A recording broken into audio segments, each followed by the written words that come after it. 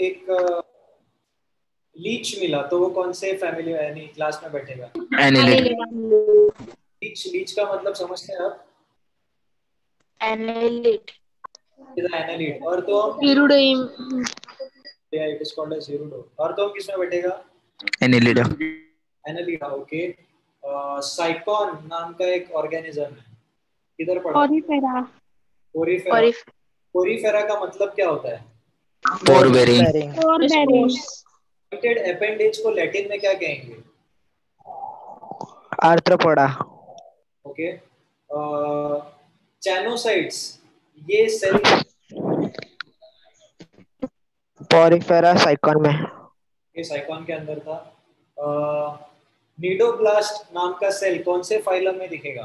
डेंड्राटा Cnidaria सी walnuts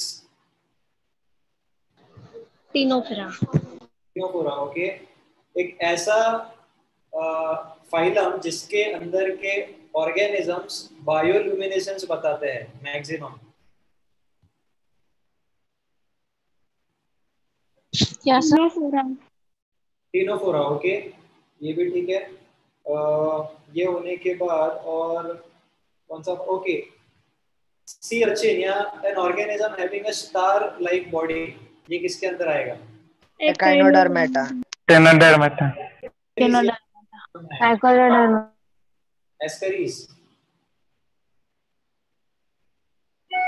Aschelminthes okay.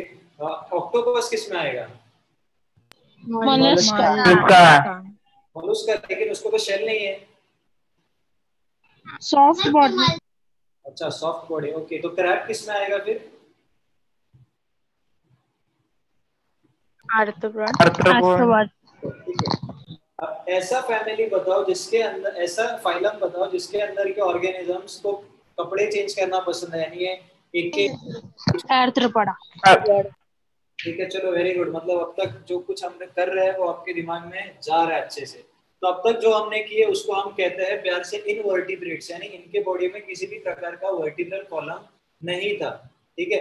तो हम जब कॉर्डेट्स की बात करते हैं as we all discussed in the last lecture chordates का डेफिनेशन ही वो है कि an organism showing a presence of nerve cord notochord pharyngeal slits in some part of their life is called as a chordate ठीक है? और ये जो फाइलम कॉर्डेटा है, ये फाइलम कॉर्डेटा कुछ सब फाइलम में डिवाइड किया गया है, जो है तीन, ठीक है? सो दिस इज़ एक बार मैं लिख लेता हूँ। ये है आपका फाइलम कॉर्डेटा और यहाँ पे कुछ सब फाइलम्स है। जो सब फाइलम्स हम यहाँ पे लिखने वाले हैं। सबसे पहला है urochordata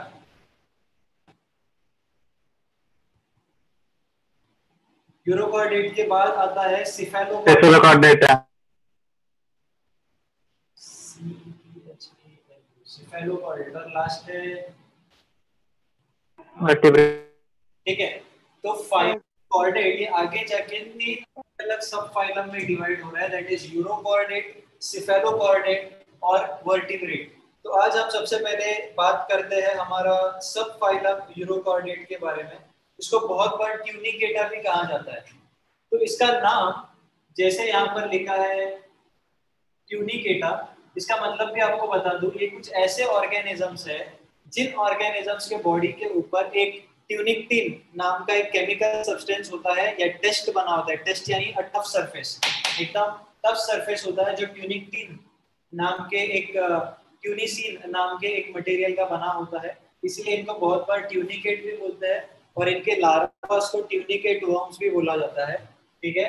they are exclusively marine यानी ये मरीन हैबिटेट में ही ज़्यादा करके दिखेंगे, ज़्यादा करके in the sense almost 99% organisms आज तक यूरोकॉर्डेट के मरीन हैबिटेट में ही मिले गए हैं। Body is covered by test और tunic which is made up of a material called as tunicine ठीक है?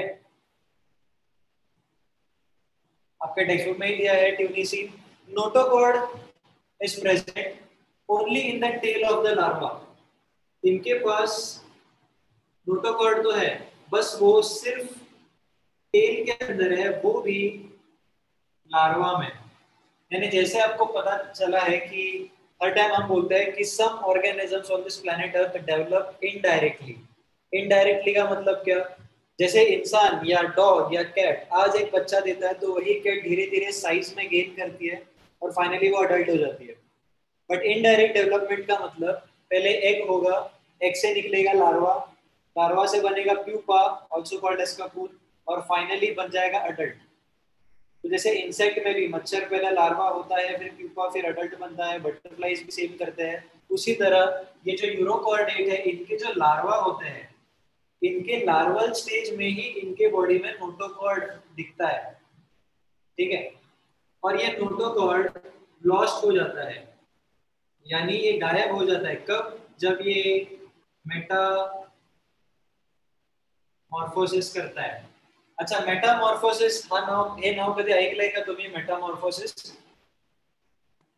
इवॉल्व नहीं सुना है ठीक है मेटामॉर्फोसिस सुना मतलब होता है कि जब अच्छा पोकेमोन जो लोग देखते हैं उनको पता होगा कि हर एक पोकेमोन एक स्पेसिफिक टाइम इंटरवल के बाद Yes.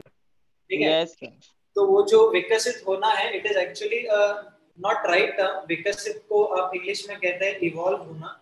बट जैसे अगर आपके पास एक कैटरपिलर है तो वो खुद पहले ककून में बन जाएगा। और इस ककून के अंदर ये पूरी तरह से हाइबरनेशन में चला जाएगा और फिर ये नया का नया बॉडी फॉर्म क्रिएट होगा। यानी एक लार्वा दिखता है ये उंगली के जैसे बट ये बटरफ्लाई बहुत ब्यूटीफुल दिखता है with the wings on it ठीक है? So such type of process जहाँ पर एक एनिमल खुद का सीधा स्ट्रक्चर चेंज कर देता है कुछ टाइम पीरियड के बाद।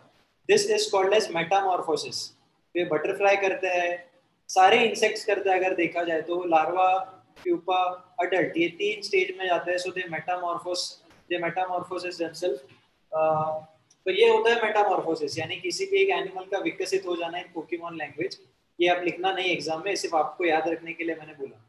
ठीक है? So any physical changes occurring inside a organisms body in order to form a complete new stage of their life is called as a metamorphosis. ठीक है?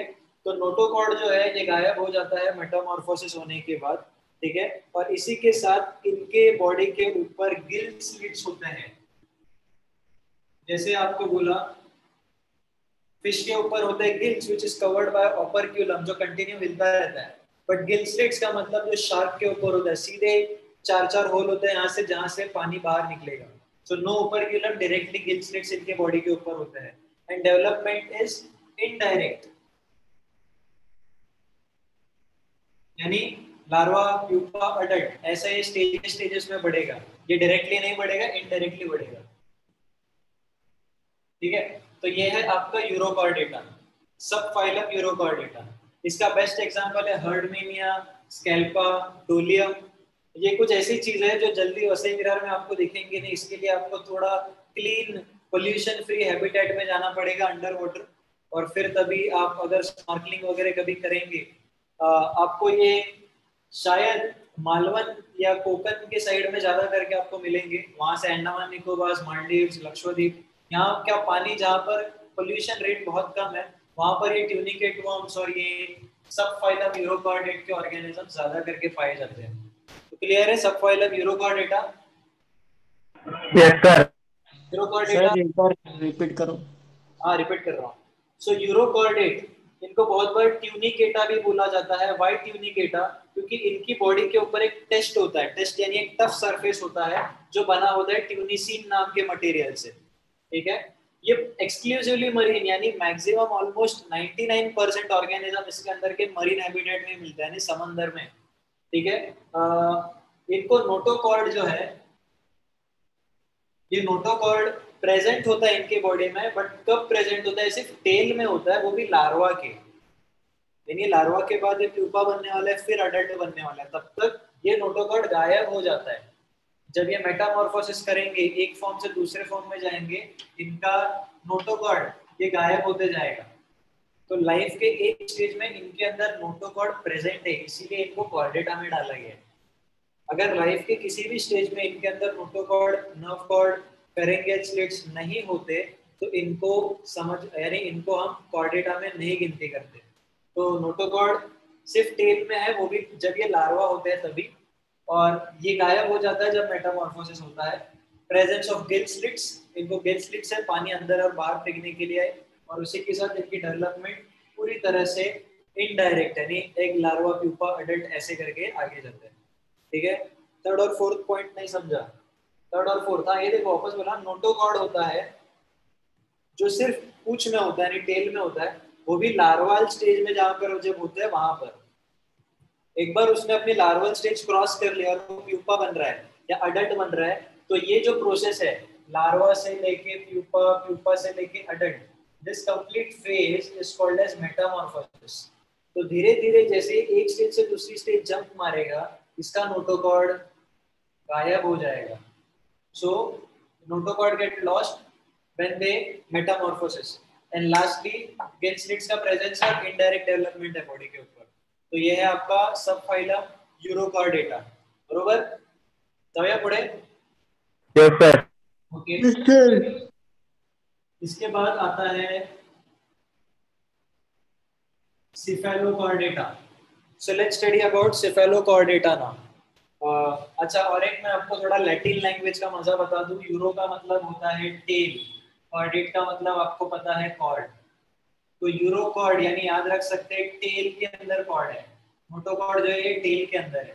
तो यूरो का मतलब टेल कॉर्डेट का मतलब कॉर्ड cephalo लास्ट लेक्चर में आपको बताया सिफेलो का मतलब होता है हेड डोक्यापासून जे चालू होतं? जो कॉर्ड सिर से शुरू होता है इस कॉल्ड एज सिफेलो जो सिर्फ़ टेल में होता है इस कॉल्ड एज यूरो याद रहेगा क्या? यस सर तो अब हम बात करते हैं सिफेलो सिफेलोकॉर्डेटा की. Once again first point exclusively marine यानी 99 परसेंट ये समंदर में ही मिलेगा और कहीं नहीं मिलेगा. नेक्स्ट पॉइंट ठीक है एक्सक्लूसिवली मरीन है इसी के साथ इनको लैंसेलेट भी बोला जाता है। ठीक है they are also called as lancelet ठीक है which is basically a small fish like animal जो लैंसेलेट का सिंपल मतलब होता है, जो फ़िश जैसा होता है, और ये पाँच सेंटीमीटर के ऊपर कभी नहीं बढ़ता। ठीक है, यानी बहुत छोटा होता है, पाँच सेंटीमीटर यानी आपकी जो फोर फिंगर रहेगी फाइव सेंटीमीटर की रहेगी। इतना ही बड़ा होता है एक सिफेलोकॉर्डेट कोई भी सिफेलोकॉर्डेट ठीक है? अब ये जो लैंसेलेट होते हैं, इनका एक फ़र्स्ट पॉइंट है कि they live partly buried in the benthic zone यानी इनकी ज़िंदगी ऐसी होती है कि ये आधी बॉडी अपनी ज़मीन के अंदर घुसा के बैठे रहते हैं। सिर्फ़ अपना सिर बाहर निकाल के बैठते हैं। तो पार्टली इनका लैंसेलेट को यही बोलते हैं कि आधा इनका बॉडी का आधे से ज़्यादा पार्ट तो सैंड के अंदर दबा हुआ रहता है। और सिर्फ़ मुँह बाहर निकाल के बैठते हैं in order to catch a prey ठीक है? ये मरीन सेडिमेंट सॉफ्ट सेडिमेंट यानी एकदम नीचे जाके बैठे रहते हैं। नोटोकॉर्ड जो है नोटोकॉर्ड ये पूरी बॉडी के अंदर एक्सटेंड हुआ है। ठीक है? देखिए notochord extend throughout the life यानी ये लार्वा में भी रहेगा प्यूपा में भी रहेगा और एडल्ट में भी रहेगा। तो ऐसा नहीं है इसके जैसा कि सिर्फ़ लार्वा में ही दिखेगा और आगे के लाइफ फॉर्म्स में नहीं दिखेगा। ये पूरे बॉडी के अंदर होता है शुरुआत से लेके एंड तक, ठीक है? और ये नोटोकॉर्ड क्या करता है? ये माइटोसोम्स मायोटोसोम्स यानी इसका मतलब मसल ब्लॉक्स को मेंटेन करने को यूज़ होता है। और इसी के साथ इनके पास है post anal tell post anal tell का मतलब एनस के बाद कोई पार्ट ग्रो हो रहा है, यानी एक टेल ग्रो हो रही है। अब तक जितने भी ऑर्गेनिजम्स देखे, उन ऑर्गेनिजम्स में अगर ट्यूब बॉडी पैटर्न है, यानी एक ट्यूब जैसी पैटर्न है बॉडी के अंदर, एक साइड से खाना अंदर जाएगा, दूसरी साइड से एक्सक्रीशन होगा। वो आज तक जितने हमने इनवर्टिब्रेट देखे एनस के बाद इनकी बॉडी खत्म हो रही थी। ये देखिए, जैसे यहाँ पर बताया गया है। एक minute So if you see right here, this is the mouth and this is the anus. ठीक है? तो माउथ से लेके एनस बॉडी हो गई खत्म. लेकिन अगर आप यहाँ पे देखेंगे तो यहाँ पर माउथ है यहाँ पर एनस है.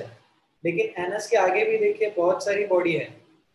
This is called as a post anal tail तो एनस के बाद भी एक टेल दिखाई देती है. ये सबसे पहला ऐसा इवोल्यूशन था इस प्लेनेट अर्थ के ऊपर कि ऑर्गेनिज्म ने एनस के बाद भी एक ग्रोथ दिखाई गई है. ठीक है? सो पोस्ट एनल टेल इसका शुरुआत ही हुआ इस अर्थ के ऊपर आने को, कहा से? सब फाइलम सिफेलोकॉर्डेटा से। ठीक है?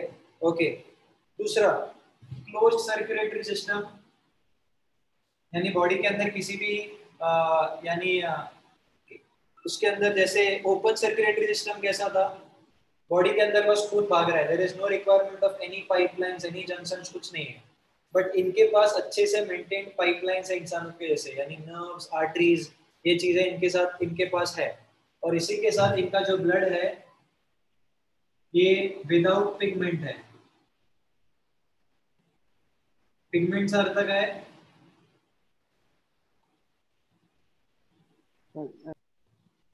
पिगमेंट का मतलब याद है किसी को? प्लास्टिक्स में मैंने बात की थी pigments colour colour Colour. Colourless इनके खून में किसी भी प्रकार का कलर नहीं है यानी अगर आप इनके ब्लड भी अगर आप कभी देखोगे तो इनके पास इनका ब्लड ऑलमोस्ट पानी के जैसा आपको दिखेगा। जैसे कुछ एनिमल जो हमने पिछले बार देखे थे उनके अंदर कॉपर का पिगमेंट इनके अंदर ज़्यादा था इसीलिए वो क्या कर बॉडी का ब्लड का कलर थोड़ा सा ब्लूइश टिंट आ रहा था। बट यहाँ पर इनके पास ब्लड में कोई भी प्रकार का पिगमेंट नहीं है। ठीक है? मायोटोसोम्स यानी मसल ब्लॉक्स ये भी इनके बॉडी में, यानी इनकी बॉडी में मसल्स है। अब तक किसी भी ऑर्गेनिज्म में इनवर्टिब्रेट में प्रोफेशनली कोई मसल्स नहीं थे बॉडी एक्टिविटी करने के लिए। बट जहाँ पर एक टेल की बात आती है, जो भी ऑर्गेनिज्म सिफेलोकॉर्डेटा पे है, या सिफेलोकॉर्डेटा से आगे जाने वाले जितने फाइलम्स हैं, इनके पास मायोटोसोम्स यानी मसल ब्लॉक मसल है, इसलिए बॉडी हिलेगा। मसल है इसलिए उनकी टेल मूव हो सकती है। मसल है, इसलिए खुद ब खुद खड्डा कर सकते हैं। अभी आप सोच सकते हैं, ये अपने हाथ क्यों हिल रहे हैं ऐसे? क्योंकि यहाँ पर बाइसेप और ट्राइसेप मसल है। जब ये हाथ खुलता है, तब बाइसेप मसल रिलैक्स होता है ट्राइसेप कॉन्ट्रैक्ट होता है। और जब ये रिलैक्स होगा, ये कॉन्ट्रैक्ट होगा तो हाथ आगे आएगा। तो बॉडी में अगर किसी भी प्रकार का लोकोमोशन करना है तो उसी के लिए जो मसल ब्लॉक होता है, वो इन फाइलम सिफेलोकॉर्डेटा से साथ शुरू होता हैं। ठीक है? बाकी एनालिड्स में भी मसल ब्लॉक्स थे, लेकिन मायोटोसोम्स यानी ये लेवल पे इवॉल्व हुए मसल ब्लॉक्स नहीं थे। वो छोटे छोटे फॉर्म के मसल्स थे, जो प्रिमिटिव टाइप के मसल्स है, जिनका मूवमेंट सिर्फ़ आगे पीछे थोड़ा सा स्क्वीजिंग करने को यही होता था। जैसे कि एक टाइप का आपको मैंने मूवमेंट बताया कि अगर जनरली लीच ऐसा चलता है, अगर ये लीच है, ये टाइप का मूवमेंट पैरापोडिया ठीक है? ऐसा लीच है पहले एनएस आगे आएगा, फिर हेड आगे आएगा। एनएस आगे आएगा, फिर हेड आगे आएगा। बट जब से ये वाले आ गए, यानी एम्फियोक्स इसका बेस्ट एग्जांपल है। इसके अगर आप बॉडी भी देखेंगे, आपको फिगर दिखा है यहाँ पर। Okay in this diagram you can actually see a caudal fin caudal fin यानी टेल तो ये पूरी बॉडी के अंदर वेल डेवलप मसल्स होते हैं। क्योंकि मसल्स है, इसीलिए खुद को सैंड के अंदर बरी कर सकते हैं, वरना ये खुद को बरी नहीं कर सकते थे। ठीक है? तो ये है आपका एक डायग्राम ऑफ़ फाइलम सिफेलोकॉर्डेट और इस एनिमल का नाम है एम्फियोक्सिस पाँच से छः सेंटीमीटर छः सेंटीमीटर बहुत हार्डली बहुत रफ केसेस मिलेंगे जहाँ पर छः सेंटीमीटर का होगा। बट जनरली पाँच सेंटीमीटर या चार सेंटीमीटर का ही होता है एनिमल बेंथिक जोन में ज़्यादा करके मिलता है बट कुछ केसेस में ये बीच के ऊपर भी दिख जाते हैं। अपने जो मुंबई के गिरगांव चौपाटी जो है ग्रैंड रोड या चरनी रोड वहाँ पर। वहाँ पर बहुत बार इस एनिमल की साइटिंग हुई है। कितना छोटा एनिमल रहता है? मैक्सिमम 75 से ज़्यादा परसेंट बॉडी सैंड के अंदर होती है। और बाकी का सिर्फ़ इसका बकल सराय जो है दैट इज़ प्रे को कैच करने की चीज़, ये सिर्फ़ ऊपर रहती है। तो यह है आपका phylum cephalochordata once again revise करते हैं सिफेलोकॉर्डेटा का। सिफेलो का मतलब होता है हेड यानी सिर से शुरू होने वाला नोटोकॉर्ड इस डायग्राम में भी आप देख सकते हैं, एकदम एपेक्स से शुरू हो रहा है नोटोकॉर्ड ठीक है? तो these animals are exclusively marine these are also called as lancelets lancelets का मतलब होता है a small fish like organisms which will never exceed the length of 5 centimetre they are partly buried inside the sand and generally found in the benthic zones of the sea notochord is present throughout the life stages यानी larva pupa adult हर stage में होगा notochord presence of post anal tail very important point ठीक है? जब भी आपको कोई सिफेलोकॉर्डेटा पूछेंगे तो ये पॉइंट बहुत ही हाईलाइटेड है इसके अंदर। That is post anal tail ये अब तक की इवोल्यूशन में फ़र्स्ट टाइम हमने देखा है सिफेलोकॉर्डेटा को टेल है। सर्कुलेटरी सिस्टम क्लोज्ड है और ब्लड इज़ विदाउट पिगमेंट ठीक है? इनके अंदर ये पॉइंट ये पॉइंट ये इंपॉर्टेंट है। बोलो।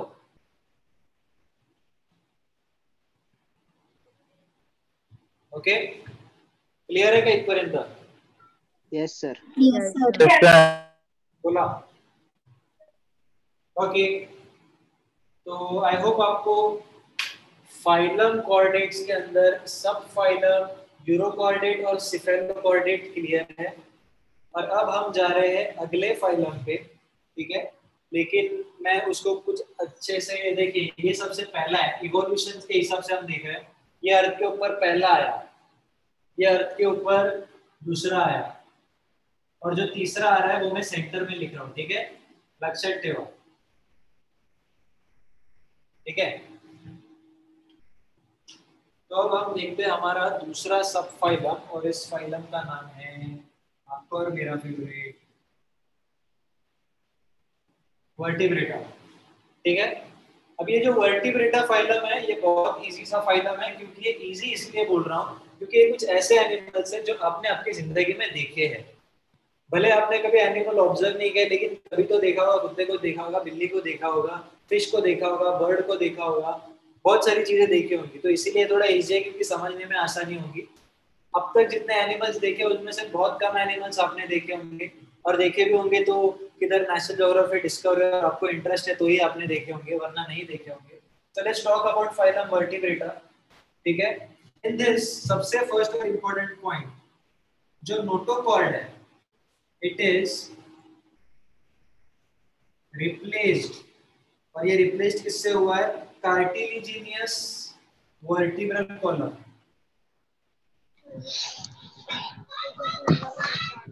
बंद करिए, जिसका भी शुरू है। ठीक है? सो वर्टिब्रेटा का सबसे इंपॉर्टेंट पॉइंट है कि अब तक हम देख रहे थे नर्व कॉर्ड है भैया नोटोकॉर्ड है फेरेंजियल स्लिट्स है, सब कुछ ठीक है। बट फ़र्स्ट टाइम इस प्लेनेट की हिस्ट्री में ऐसा एक डिवीज़न बना, जहाँ पर जो नोटोकॉर्ड जब तक नोटोकॉर्ड का सिंपल मतलब होता है primitive type of spinal cord ठीक है? लेकिन ये फ़र्स्ट टाइम पूरी तरह से रिप्लेस्ड हुआ एक कार्टिलिजिनियस और एज कंपैरेटिव टू नोटोकॉर्ड थोड़ा सा टफ और थिक एक वर्टिब्रल कॉलम है तो सबसे पहला और वेरी इंपॉर्टेंट पॉइंट वर्टिब्रेटा में नोटोकॉर्ड जो है, ये ना होते हुए इसको रिप्लेस किया गया है वर्टिब्रल कॉलम से। और ये जो वर्टिब्रेटा है, ये इसका इतना ही डेफिनेशन आपके टेक्स्ट बुक में है। और ये होने के बाद आपका जो फाइलम वर्टिब्रेटा है, ये कुछ दो डिवीज़न में बांटा जाता है। आपको अभी बोर्ड दिखने के लिए मैं ये करूँगी ओके तो अब ये जो फाइलम वर्टिब्रेटा है आगे जाके दो डिविजन ठीक है? दिस इज़ अ सब फाइलम राइट ये सब फाइलम ये भी सारे सब फाइलम है। लेकिन सब फाइलम डिवाइड हो रहे हैं अब डिविजन्स में। अब आप डिविजन्स देखते हैं, कितने गिरते हैं इनके अंदर। फाइलम वर्टिब्रेटा के अंदर दो डिविजन्स गिरते हैं। एक है इग्नाथा या agnathostomata I G N A T H agnath या इग्नाथा भी बोलते हैं बट आपको इग्नैथोस्टोमेटा पूरा दिया है। और यहाँ पर आएगा आपका नेथोस्टोमेटा के, ये है आपका इग्नैथोस्टोमेटा और एक है इग्नैथोस्टोमेटा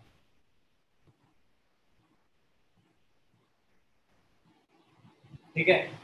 नाव लक्षात ठेवायला और नाम लिखने के लिए थोड़े लंबे लंबे हैं, लेकिन आपको आना चाहिए, क्योंकि अपन कर रहे बायोलॉजी और बायोलॉजी में ऐसे बड़े नाम होने ही चाहिए, उसके सिवा मज़ा नहीं आता। है ठीक है?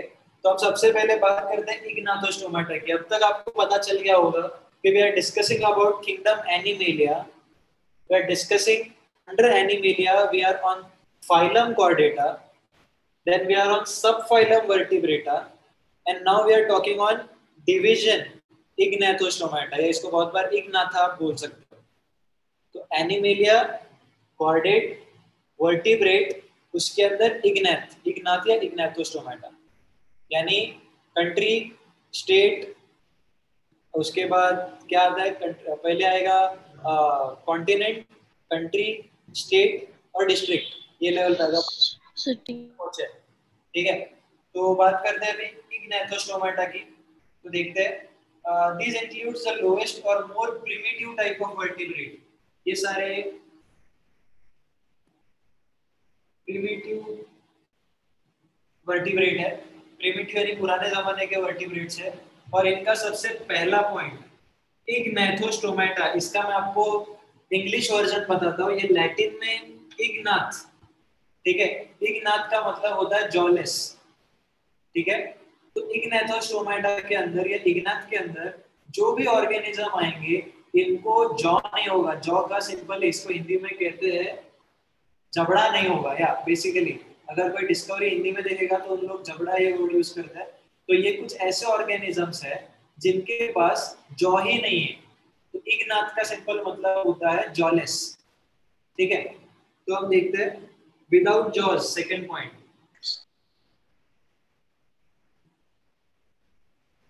इनको किसी भी प्रकार का जॉ नहीं है। Which include only one class और इनके पास एक ही क्लास है। और इनका क्लास है, जो हम बाद में बात करेंगे दैट इज़ साइक्लोस्टोम या साइक्लोस्टोमेटा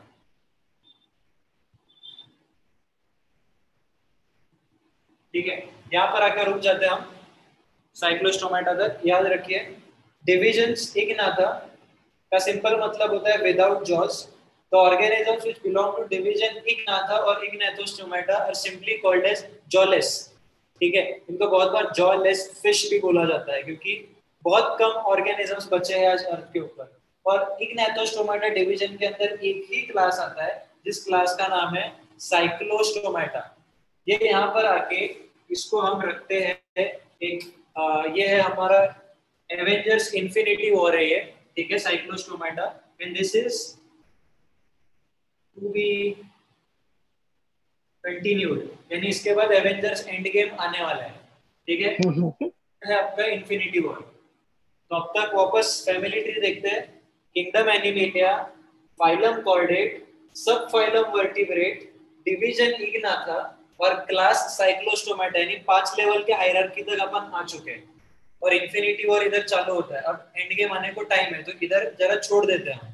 और अब हम बात करते हैं इग्नैथोस्टोमेटा की। इग्नाथा हो गया तो इधर है ग्नैथोस्टोमेटा अब देखते हैं इनके अंदर हमें क्या मिलेगा।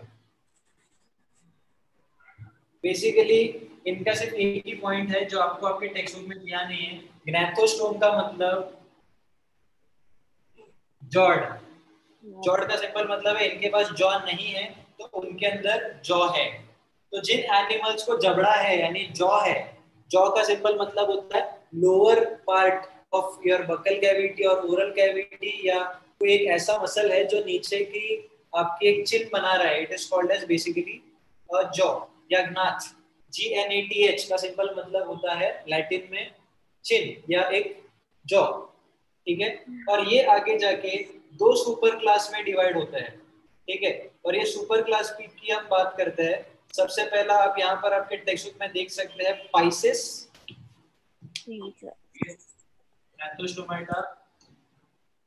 दो पार्ट में डिवाइड हो रहा है। पहला है पाइसिस ठीक है? और दूसरा है टेट्रापॉड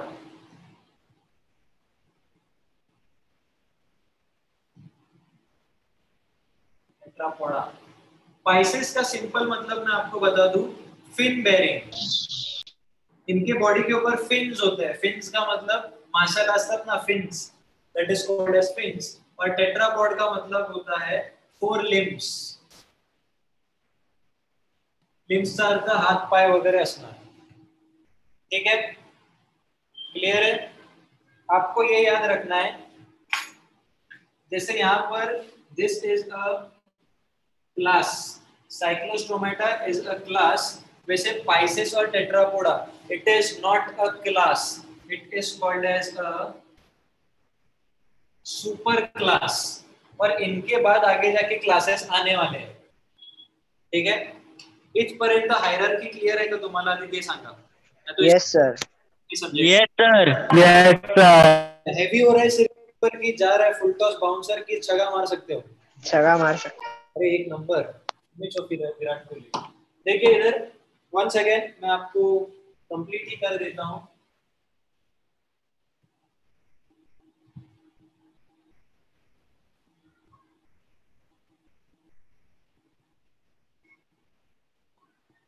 सर कैमरा एडजस्ट करो ना तो एक मिनट था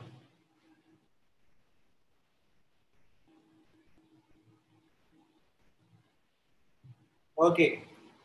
So now as you can see, right above here, we have kingdom Animalia. Kingdom Animalia यानी एक ऐसा टाइप ऑफ़ किंगडम जिनके अंदर मिलने वाले ऑर्गेनिजम्स को किसी भी प्रकार का सेल वॉल नहीं है ठीक है इनको है सेल मेम्ब्रेन इसीलिए हम इनको कहते हैं एनिमल्स या एनिमल सेल्स इनके अंदर तो एनिमेलिया के अंदर phylum chordates sub phylum chordates के अंदर आएँगे यूरो सिफेलो और वर्टिब्रेट वर्टिब्रेटा ठीक है? ये तीन सब फाइलम आ गए.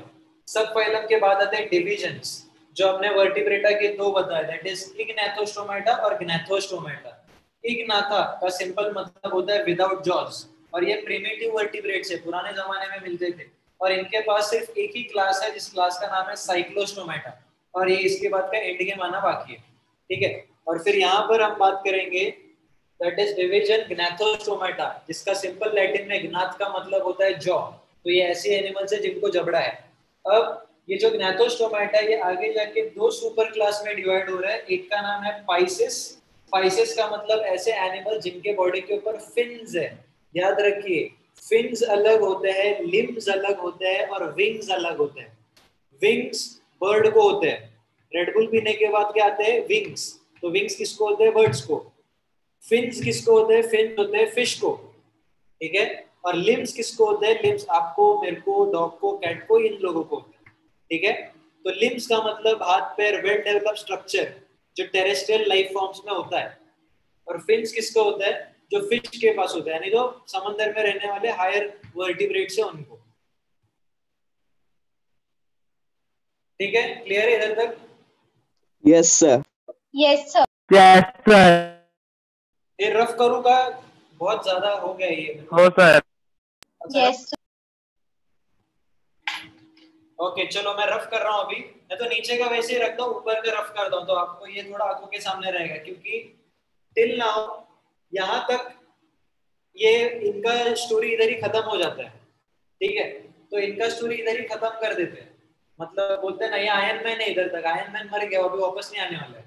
ठीक है? तो इनका स्टोरी इधर ही खत्म है। अभी अपन फोकस करते हैं जो लोग ज़िंदा है। तो इधर ब्लैक पैंथर ज़िंदा है स्पाइडरमैन ज़िंदा है, अभी उनकी स्टोरी हम बाद में करेंगे। So let's rub this iron man thing तो टोनी स्टार्क को हम देते हैं गायब। इधर से कर देते हैं।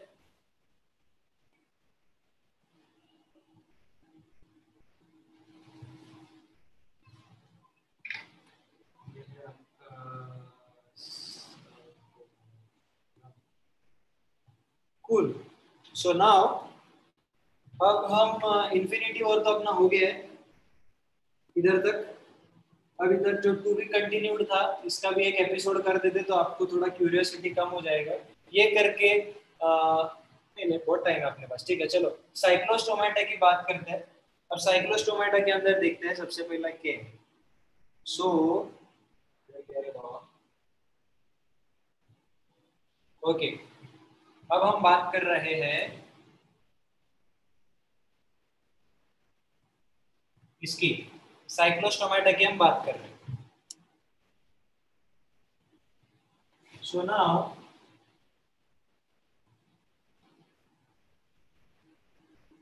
साइक्लोस्टोमेटा याद रखें इट इज़ अ क्लास ठीक है? क्लास क्लास है डिवीज़न ग्नाथोस्टोमेटा के अंदर आया हुआ क्लास ये दुनिया में एक ही क्लास है ग्नाथोस्टोमेटा के अंदर। ठीक है तो इसका नाम है साइक्लोस्टोमेटा साइक्लो का मतलब होता है सर्कुलर स्टोमा यानी मतलब होता है माउथ तो साइक्लो यानी सर्कुलर स्टोमा या स्टोमाटा का मतलब होता है माउथ मार्कर का कलर चेंज करते हैं, अपना दिखेगा। ठीक है? तो अब देखते हैं इनके पास है क्या। आ, इनका बेस्ट एग्जांपल है लैम्प्रे और ये हॉक फ़िश ये दो एनिमल्स ऐसे जिनको आपको 101 तक का गूगल करके देखना चाहिए। इनको देख के आपको मतलब सपने में एनिमल्स आके आपको नींद से जगाएँगे ऐसे एनिमल्स है। दिखने में बहुत ही खतरनाक दिखते हैं। किसी हॉरर फ़िल्म से बहुत ज़्यादा सुंदर भी दिखते हैं। मेरे को सुंदर लगते हैं आपको घिनौने लग सकते हैं। ठीक है? तो बहुत ही खुखार दिखने वाले ऐसे ऑर्गेनिजम्स है। क्योंकि इन ऑर्गेनिजम्स को जस्ट इमेजिन एक एनिमल है जिसको जॉ ही नहीं है। तो अगर इनको जॉ नहीं है तो इनका मुँह देखिए कुछ इस तरह से हाँ। इकडून एक जाते तिकडून एक जाते त्या साईडला जातच नाही ती इथे जात नाही माईक बंद कर रे काय पण बोलते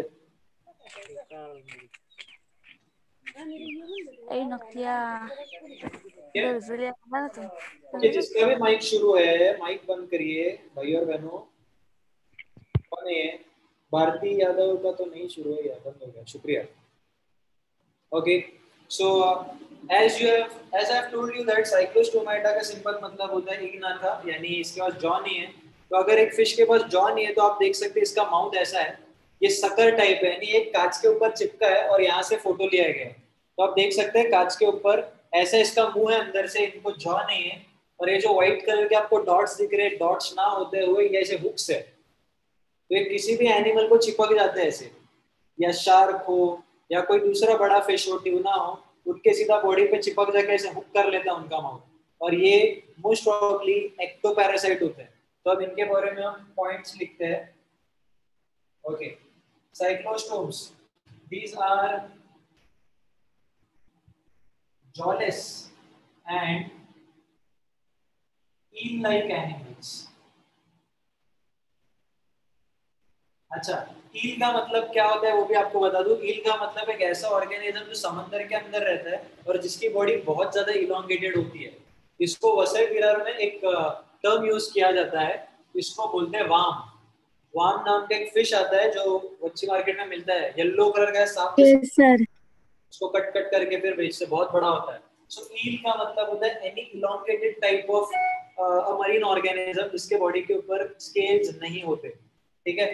तो it is a jawless eel like organism इसकी जो स्किन है वो है सॉफ्ट यानी सॉफ्ट स्किन इसके साथ स्मूथ भी है और इनके ऊपर म्यूकस ग्लैंड्स है। बट नो स्केल्स अच्छा आता म्यूकस ग्लैंड अर्थ बघा काय असतो आप जब किसी फ़िश को पकड़ते हो तो फ़िश आपको लगता है स्लगिश स्लगिश यानी फटक से निकल जाता है। ठीक है, हाथ से सटकेगा फिसलेगा तो ये फिसलता क्यों है?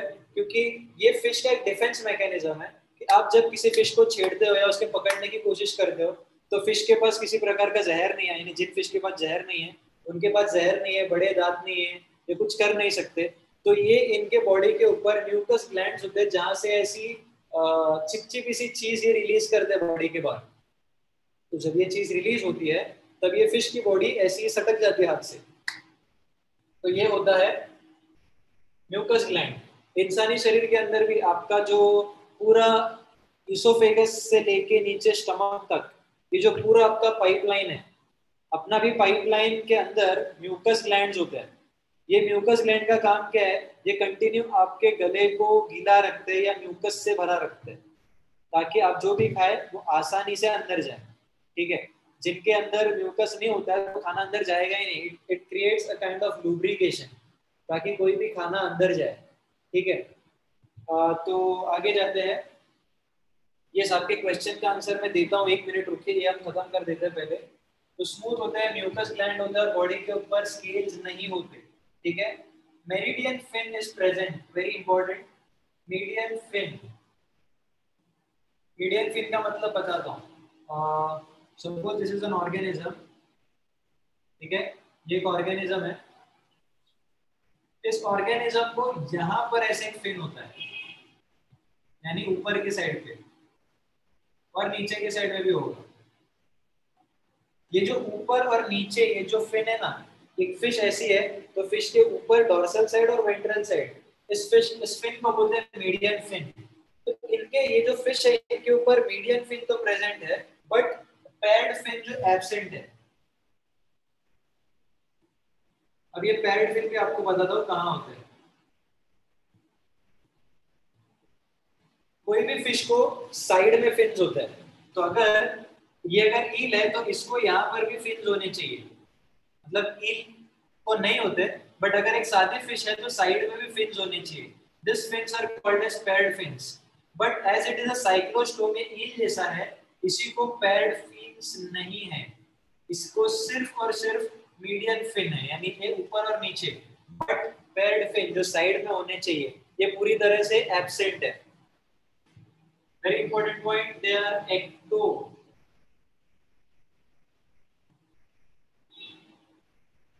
ectoparasite यानी ये बाहर से किसी भी फ़िश को काटेंगे और उनका जो कुछ भी ब्लड वगैरह है, ये खाने की कोशिश करेंगे। They have a sucking and circular mouth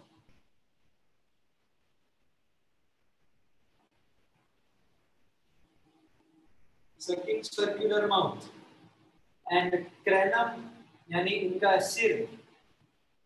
cranium का मतलब होता है एक ऐसा कैविटी जिसके अंदर ब्रेन होता है plus vertebral column it is made up of cartilage. ठीक है? तो ये है आपका सबसे पहला क्लास डिवीज़न इग्नेथोस्टोमेटा के अंदर एक ही क्लास आता है, जिस क्लास का नाम है साइक्लोस्टोमेटा साइक्लोस्टोमेटा का मतलब साइक्लो यानी सर्कुलर स्टोमा यानी माउथ ये जॉलेस फ़िश है, जो ईल जैसे दिखते हैं, ठीक है? सॉफ्ट स्किन है स्मूथ होते हैं बॉडी के ऊपर म्यूकस ग्लैंड होते हैं, इसके लिए चिपचिपे से होते हैं। इनके बॉडी के ऊपर किसी भी प्रकार के स्केल्स पाए नहीं जाते। इनकी बॉडी के ऊपर मीडियम फिन ज़रूर होता है बट जो पैड फिन साइड में है तैरने के लिए, ये एबसेंट होता है। ये ऑर्गेनिजम्स एक्टोपैरासाइट होते हैं समंदर में रहने वाले एक्टोपैरासाइट जैसे धरती पर मच्छर है बेडबग्स है, वैसे समंदर के अंदर फ़िश के खून चूसने वाले जो ऑर्गेनिजम्स है, वो है marine ectoparasite that is cyclostome ठीक है? माउथ सर्कुलर है और सकिंग टाइप है यानी कंटिन्यू सक करेगा इनके जो हुक्स होते हैं मुँह के अंदर ये ऐसे फ़िश के ऊपर चिपक कर ऐसे लॉक हो जाता है। तो, तो कितना भी खींचोगे निकलेगी नहीं। खींचोगे एक टाइम पे तो फ़िश का मसल्स फट के बाहर आएगा लेकिन ऑर्गेनिज्म छोड़ेगा नहीं। Same thing goes with leech जो एनालिड है यूरुडो है इनके भी माउथ ऐसे हुक्स होते हैं अंदर। ये एक बार इंसान को पकड़ ले तो स्किन के अंदर जाकर ऐसे हुक से लॉक कर देते हैं। So if you try to pull this hirudo out ये आपका स्किन निकाल के बाहर आएगा। ठीक है, और फिर आपको तीन चार महीने तक उसका दाग वैसे ही रहेगा। तो इसीलिए बहुत बार जब ऐसे कोई ऑर्गेनिजम्स काटते हैं किसी को तो एक बेस्ट थिंग करते हैं कि इनके मुँह के ऊपर हल्दी डाल देते हैं। जब हल्दी पड़ती है इनके मुँह के ऊपर, ये इनके हुक्स जो होते हैं, ये अनलॉक हो जाते हैं और आप इस ऑर्गेनिज्म को डिटैच कर सकते हो बॉडी से। ठीक है? तो सकिंग सर्कुलर माउथ होता है क्रेनम यानी the cavity of the brain as well as the vertebral column is made up of something called as a cartilage और ये है आपका क्लास साइक्लोस्टोमेटा क्लियर है? Sir. येस सर अच्छा। सर राईट साइडला पण आहे.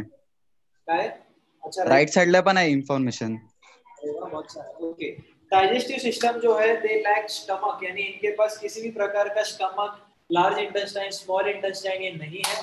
रेस्पिरेशन जो है ये गिल्स से होता है बट इनको किसी भी प्रकार का ऑपरक्यूलम नहीं होता. ऑपरक्यूलम म्हणजे जसा मच्छीला एक पडदा असतो, जो कंटिन्यू हिलता रहता है. वैसे इनको शार्क के जैसे गिल स्लिट्स हैं ऐसे खड्डे खड्डे होते हैं. So they have gill slits but no operculum ठीक है?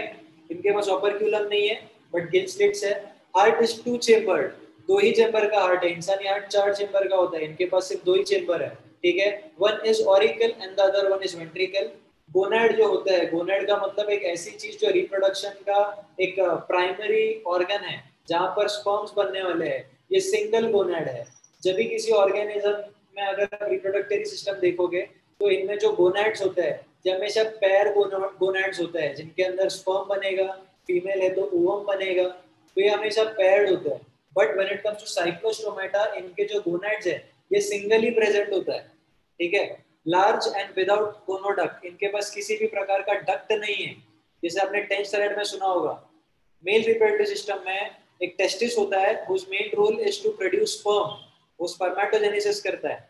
बट इस स्पर्म्स को टेस्टिस से लेके यूरेथ्रा तक आने के लिए एक डक्ट गया गया है, जिसका नाम है एपिडिडाइमिस या vasa efferentia I mean yes vasa efferentia तो ये जो डक्ट है ये ऑलमोस्ट हर हायर एनिमल में दिखता है। बट जब आप साइक्लोस्टोमेटा की बात करते हैं, इनके पास किसी भी प्रकार का डक्ट नहीं है। ठीक है? तो जैसे खून ऐसे ही बॉडी में घूम रहा था, वैसे इनके गोनाइड्स में जो इनके जर्म सेल्स बनेंगे, इनको किसी भी प्रकार का डक्ट नहीं है। ये अपने आप अपना पाथवे सिलेक्ट करके ये बॉडी के बाहर निकल जाएँगे। ठीक है? दिस फ़िश आर आल्सो यानी ये जो लोग हैं, ये इनमें फर्टिलाइजेशन एक्सटर्नल होता है। एक्सटर्नल फर्टिलाइजेशन का मतलब क्या? मेल अपने स्पर्म पानी में छोड़ देगा, चला जाएगा। फीमेल आएगी, उस स्पर्म्स जो पानी में छोड़े गए, उनको अपने बॉडी के अंदर ले लेंगी, वो अपने रास्ते चले जाएँगी। तो this is called as indirect I mean it is called as external fertilisation ठीक है? बॉडी के बाहर फर्टिलाइजेशन हो रहा है बॉडी के अंदर नहीं हो रहा है। ठीक है? तो ये है आपका एक्सटर्नल फर्टिलाइजेशन और इसी के साथ और इनमें है आर कॉल्ड एज एनाट्रोमस ठीक है? आपको ये टेक्स्ट के अंदर दिया गया है, देखो। एनोड्रोमस का मतलब बताता हूँ क्या होता है? ये एक ऐसा टाइप की टेक्निक है, जिसके अंदर एक एनिमल अपना हैबिटेट छोड़ के दूसरे हैबिटेट में बच्चे देने के लिए आता है। फॉर एग्ज़ाम्पल ये फ़िश क्या करेगा? ये अपनी पूरी ज़िंदगी समंदर में तो बिताएगा। बट जब एक फीमेल को पता चलता है कि अब मैं गर्भावती हूँ, अब मैं प्रेग्नेंट हूँ, और अभी हमें देने हैं बच्चे तो डिलीवरी करने के लिए एक दूसरे हैबिटेट में जाते हैं, यानी ये अपना खारा पानी छोड़ देते हैं और रिवर्स के साइड पे जाते हैं, यानी जहाँ से रिवर ज्वाइंट हो रही है समंदर को, वहाँ से उल्टे स्विम करते मीठे पानी में जाते हैं। और मीठे पानी में जाके ये वहाँ पर एग्स दे देते हैं। और एक बार इनकी स्पॉनिंग हो गई स्पॉनिंग का मतलब एग लेइंग करके हो गए, ये कुछ ही दिनों में मर जाता है। और इनके जो लार्वा है, जो इनके बच्चे निकलेंगे एग में से, ये थोड़े बड़े हो जाने के बाद, यानी मेटामॉर्फोज होने के बाद, ये वापस समंदर के अंदर आ जाएँगे। ठीक है? So such type of technique is called as anadromous so ऐसे इसका और एक एग्जांपल देता हूँ. There is a fish called as salmon salmon fish एक ऐसा फ़िश है. अच्छा भारत में भी एक सैल्मन मिलता है जिसको बोलते हैं इंडियन सैल्मन जिसको वसई विरार में कहते हैं रावस. रावस मसा बहुत एक्सपेंसिव आता है. बहुत मतलब कुछ ज़्यादा एक्सपेंसिव आता है. और यस सर टेस्ट में भी उतना ही कातिल है. तो ये जो रावस फ़िश है ये तो ऐसा नहीं करता. बट ये जो सैल्मन नाम का जो फ़िश का पूरा ग्रुप है कैटेगरी है ये कैटेगरी में जो पैसिफिक सैल्मन आते हैं ये बहुत बार क्या करते हैं जब इनको बच्चे देने होते हैं तो ये समंदर छोड़ते हैं और ये सीधा वाटरफॉल के अगेंस्ट तैरते हैं। यानी अगर एक झरना है जो ऐसे गिर रहा है पानी तो ऐसे जंप मार के इधर जाता है। आपने डिस्कवरी पे देखा रहेगा एक भालू हमेशा yes sir Yes, sir. Yes तो that is the salmon fish तो ये हमेशा अंडे देने के लिए समंदर छोड़ के आते हैं फ्रेश वाटर में। और वाटरफॉल के अगेंस्ट स्विम करके आते हैं। बच्चे देते हैं और एक बार बच्चे दे दिए तो जो फीमेल है वो मर जाती है। और जब ये बच्चे थोड़े बड़े होते हैं तो परत समुद्रामध्ये येतात such type of technique of spawning ये स्पॉनिंग टेक्निक है। स्पॉनिंग का मतलब अंडा ले करने का technique this called as anadromous तो salmon fish is anadromous species in the same way cyclostome जिसका नाम है पेट्रोमाइजिन इसको प्यार से लोग कॉमनली लैम्प्रे भी बुलाते हैं। तो this lamprey is also anadromous which means they love to lay eggs in the fresh water, and whenever the larva get fit fat, they return back to the ocean. और अंडे देने के बाद जो फीमेल होती है, ये शहीद हो जाती है। तो इनके लाइफ का एक ही मकसद होता है। अंडे से बाहर आना, समंदर में जाना फर्टिलाइजेशन करना और वापस बच्चे पैदा करके मर जाना। यानी हर ऑर्गेनिज्म का एक ही रोल है इस धरती के ऊपर कि अपना डीएनए बढ़ा फिर वो इंसान हो, कोई दूसरा एनिमल हो इनवर्टिब्रेट हो या प्लांट हो। हर लिविंग ऑर्गेनिज्म इस प्लेनेट के ऊपर इसीलिए आया है क्योंकि इसको अपना डीएनए एक्सपांड करना है। इसको यही लगता है हर बंदे को, हर एनिमल को, हर प्लांट को, यही लगता है कि मेरा जो डीएनए आज इधर है, वो दुनिया के कोने कोने तक फैलना चाहिए। ठीक है? इसीलिए जो ट्रीज है, ये अपने सीड्स कभी कभी एनिमल की बॉडी पे चिपक जाते हैं। एनिमल जिधर जिधर जाता है, उधर ये सीड्स चले जाएँगे। कभी हवा से सीड्स उड़ते कॉटन आपने देखा होगा, वैसे विरम में उड़ता रहता है। That is also seed dispersal technique नारळ पण जेव्हा समुद्र यानी बीच के ऊपर जब नारियल गिरता है तो ये पानी के साथ फ्लोट होते होते दूसरे दूसरे आइलैंड पे चले जाते हैं, वहाँ पर ट्रीज ग्रो होते हैं। सो हर लिविंग ऑर्गेनिज्म का एक ही बोलते हैं ना मिशन होता है इस प्लेनेट अर्थ के ऊपर कि अपना जीन अपना डीएनए फैलाओ। ठीक है? ओके अब एक क्वेश्चन आया है अपने को रुको पढ़ने दो यार क्या है।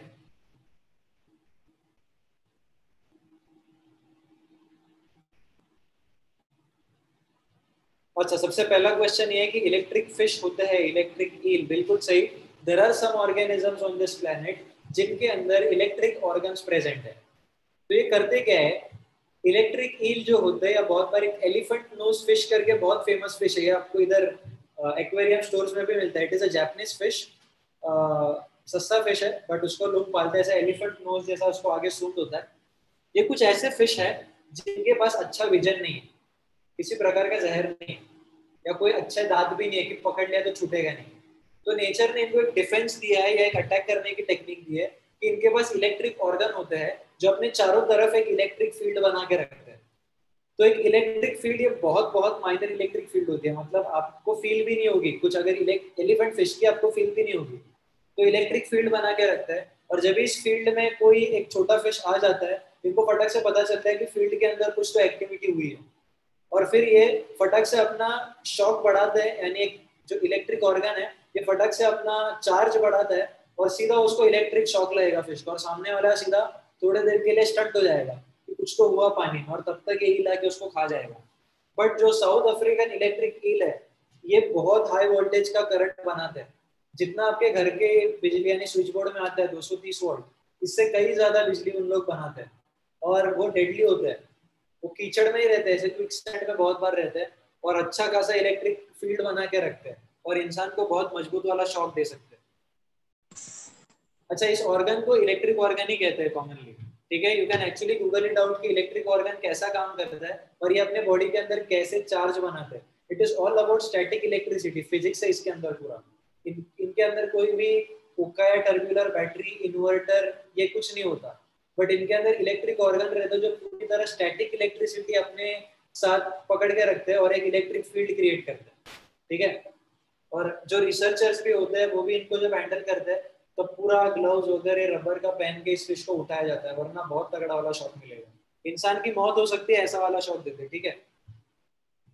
अच्छा और एक क्वेश्चन है sir in deep seas in case the blood comes out from our hand the colour of the blood looks bluish और greenish because of the sun rays doesn't reach the bottom of the sea. This is wrong or right? देखिए, पहली बात, जब आप पानी के अंदर है और आपके कहीं से भी आपके बॉडी से खून का ड्रॉप निकलता है तो वो आपको रेडी दिखेगा। वो कोई और कलर में चेंज नहीं होगा। ठीक है? वो सिर्फ़ जैसे पानी के करंट्स हिलेंगे, वैसे वो अपने आप डिफ्यूज हो जाएगा। यानी, क्या बोलते डाइल्यूट हो जाएगा। पहले रेड से थोड़ा orange orange light red light red और गायब। तो आपका खून कभी समंदर के पानी में ब्लूइश ग्रीनिश नहीं दिखेगा। डोंट वरी अबाउट इट ये गलत है।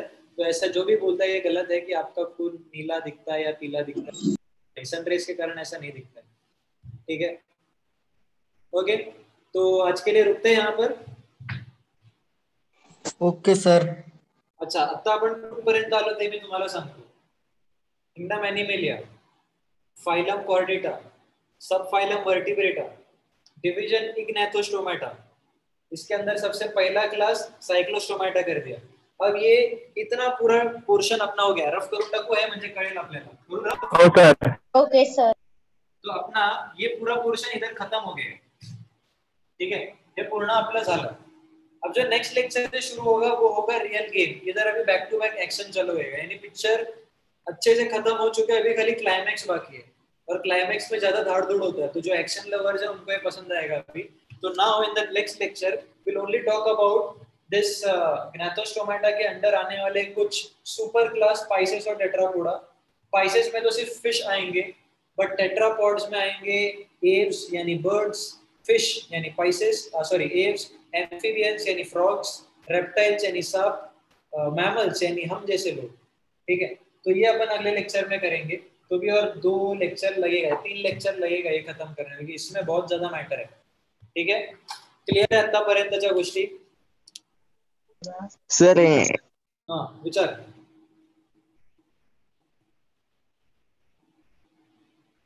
स्क्रीनशॉट घ्यायचं होतं किसका स्क्रीनशॉट लेना है? ले लो भाई।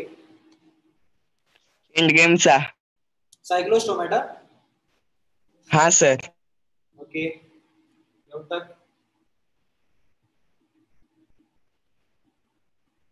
डन टेक्नोलॉजी ने कितना आगे कर लिया तुम लोग को? डन सर नोट्स बनाने की ज़रूरत नहीं है। नहीं इट इज़ गुड नहीं ऐसा नहीं। ठीक है आप लिख नहीं रहे but this is what is the future sir हाँ। सर मी ना एक सिंड्रोम बघितलं की एलियन हँड सिंड्रोम तर त्याच्यामध्ये असं सांगितलं होतं की आपला आपल्या हातावर ताबा नाही राहत. म्हणजे हात आपला आपला गायला पण असं हे करू शकतो. क्या क्या हाथ हाथ क्या मेरे को हाथ ही सुनाई दे उसका कुछ नहीं समझा। म्हणजे याच्यात असं सांगितलं की आपला हात आहे ना तो आपल्याच बॉडीला असं हार्म करतो म्हणजे आपला गळा आवडतो हँड होणार असं काहीतरी सांगत होतोय. कौन सा सिंड्रोम है? एलियन हँड सिंड्रोम देखना पड़ेगा ये कितना सच है कितना झूठ मैंने सुना नहीं है इसलिए मैं रिसर्च करता हूँ एकदा बघतो but okay sir it is it is it can be a psychological disorder ऐसा होता है सर हाय हा ट्रू आहे मी पण बघितलेला। त्याच्यावरती रिसर्च दाखवलेली जिओग्राफीवरती हा सर बघतो मी एकदा. अच्छा और क्या सवाल है? आउल्स के पास आइस ट्यूब ट्यूब आई होते हैं क्या? हाँ आउल के आइस जो होते हैं इनको ट्यूब आइस ट्यूब आइस बोला जाता है। ये हम जब पाइसिस अपना एव्स आएगा तब उसके अंदर हम बर्ड्स की बातें करेंगे। बर्ड्स की तो बातें करने को तो अपने पास चौबीस घंटा भी कम पड़ेगा इतना बात कर सकते हैं उसके ऊपर। Yes owls are some interesting kinds of birds जो अपनी गर्दन पूरी 270 डिग्री पे उल्टी घुमा सकते हैं ऐसी भी घुमा सकते हैं ऐसी भी घुमा सकते हैं। तो बहुत अजीब से होते हैं वो। ठीक है? आणि अजून काय अच्छा आपके लिए एक होमवर्क देता हूँ ठीक है? A question for you to solve हाँ और एक तुमको मेरे को याद है अच्छा याद अ, एक यूट्यूब चैनल का नाम दे रहा हूँ देखिए कभी ठीक है? चैनल का नाम है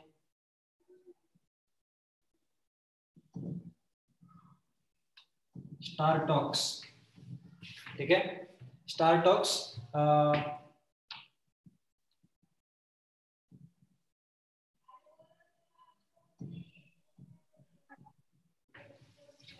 ठीक है तो ये एक यूट्यूब चैनल का नाम है star talks. Very amazing channel if you are into physics okay if you are into physics astrophysics aliens and things like that and some gravity and time travel things अगर आपको पसंद है। So make sure you go on this channel. मेरे को ये channel कोई पैसा नहीं देता है ठीक है? प्रमोट करने का। ये तुमको थोड़ा कॉन्सेप्ट क्लियर हो इसलिए बताता हूँ ये चैनल्स ओके सर पार्टनरशिप नहीं है इनके साथ। The main thing the main reason I am saying is ये जो बंदा है that is Neil deGrasse Tyson ये आज के तारीख में इस अर्थ के ऊपर प्रेजेंट सबसे खतरनाक एस्ट्रोफिजिसिस्ट है। जैसे हर सेंचुरी में एक बंदा रहता है या हर डेकेड में एक बंदा आता है। सबसे पहले आए थे आइंस्टाइन नहीं उनके पहले थे न्यूटन जिनको हमने बोला था कि ये सबसे धरती पे सबसे खतरनाक काम कर रहा है बैक टू बैक डिस्कवरीज दे रहा है। फिर आइंस्टाइन जिन्होंने भी एकदम कतई बवाल काम करके रख दिया। उसके बाद आ गए स्टीफन हॉकिंस जिनका डेथ कुछ दो तीन साल पहले हो गया। मालूम है ना चेयर पे बैठते थे कंप्यूटर से। Yes, हाँ sir. सर अब ये जाने के बाद कोई अगर उसमें ज़्यादा तुमचा आवाज़ नाही ये भाई माइक बंद करो जिसका भी हो। तो आज के तारीख में अगर कोई ऐसा बंदा है जो अर्थ के ऊपर बैठ के कॉस्मोस या थियरीज की बात करे तो वो ये है Neil deGrasse Tyson it is African American बंदा ये और इसने चैनल बनाया। इसका नेशनल ज्योग्राफी पे एक शो भी आता था कॉल्ड एज कॉस्मोस कभी टाइम मिले तो आप देखो, अभी तो आप 11th स्टैंडर्ड में हो so it is the best age for you to watch that series बहुत खतरनाक है। यानी next level things next level यानी नींद उड़ जाएगी ऐसे साइंस सुन के। मतलब आपको रियली आप इंटरेस्टेड हो जाओगे फिजिक्स में एस्ट्रोफिजिक्स में और ये जो डिग्रीज या जो रिसर्च चल रहा है आपके आसपास इसमें। सो so, इस पे जाइए बहुत बहुत बहुत अमेजिंग चैनल है। जस्ट ऐसे इंटरव्यू के जैसे हम लोग क्वेश्चंस पूछते हैं explains it very nicely so my question for you is as for homework the question is कि आपको स्काई ब्लू क्यों दिखता है? ठीक है पूरा सुन लो पहले। Why does sky appears blue to you? ठीक है? तो आप, अगर आपका आंसर ये है क्योंकि पानी नीला होता है तो पानी का रिफ्लेक्शन नहीं चलो ठीक है चलो। दो क्वेश्चन देता हूँ। वाई स्काई ब्लू और दूसरा why does water appears blue to you अगर आप बोलते हो कि पानी ब्लू इसलिए दिखता है क्योंकि स्काई ब्लू है तो अगर मैं वही जो समंदर का पानी जो ब्लू दिख रहा है इसको मैं अगर एक ग्लास में लू तो ये ट्रांसपेरेंट हो जाता है। इसको स्टील के ग्लास में लो तो भी ट्रांसपरंट होता है। एका मोठ्या कढईत घेतलं तरी ते ट्रान्सपरंटच राहतं. लेकिन अगर मैं उसको वापस स्विमिंग पूल या समंदर में डाल दे तो वापस वो पानी ब्लू हो जाता. है तो ऐसा का है सर, जी सर, जी सनलाईट वरून जर जी सनवरून सनलाईट येते ना, ती अर्थच्या ऍटमॉस्फिअर वरती पडते. मग जे जे काय बोलतात त्याला, जे डायरेक्शन मध्ये ती स्कॅटर होते ना, तर ब्ल्यू कलर सगळ्यात जास्त लाईट स्कॅटर करतो. त्याच्यामुळे तो ब्ल्यू दिसतो स्काय आपल्याला. ओके ठीक है चलो ये अच्छा आंसर है वाई इसका आंसर ये ठीक है अ, तो अभी why water appear why does water appears blue to you When you take the same water in a glass or a big utensil, it changes its colors to transparent, and when you put it back in the water, I mean in the ocean or a pool, it gets back again in blue. Why? इसका answer आप Google मौसी से पूछिए कहीं मिला तो देखिए इस चैनल पे जाके देखिए कुछ मिलता है क्या कुछ नहीं मिलता है क्या देखिए टाइम मिले तो आपका यही टाइम नेटफ्लिक्स देखने से अच्छा कुछ ऐसे अमेजिंग चीज़ें देखे। हाँ even if you are using Netflix make sure you use it for watching any kinds of documentaries and things like that but don't go ahead with this Doraemon Shizuka Nobita and things like that इसमें time waste ना करो। ठीक है? तो रुकते हैं आज के लिए यहीं पर। मिलते हैं अगले लेक्चर में। तब तक यस सर सुरक्षित रहे। जय हिंद। ओके जय महाराष्ट्र चलो। Thank you sir bye sir thank you sir sir thank you sir bye sir thank you sir अभी अभी बन गया रे फ़ैन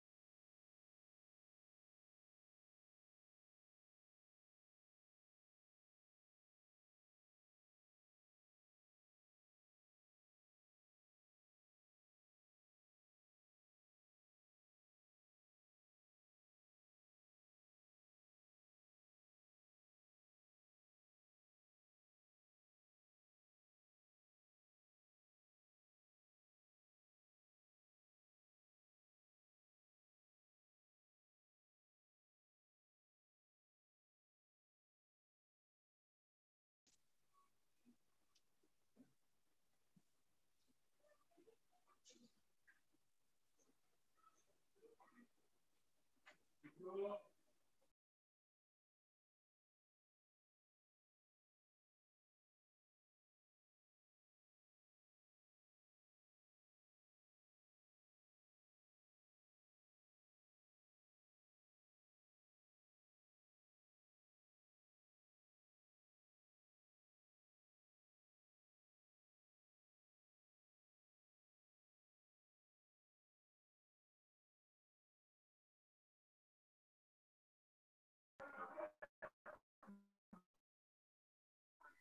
Good evening, ma'am.